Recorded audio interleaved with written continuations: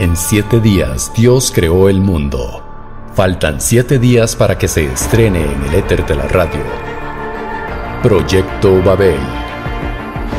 Vuelve la ciencia ficción a la radio. Inspirada en Laudato Si.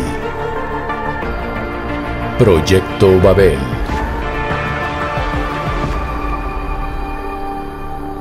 Nunca estuvimos solos en el universo.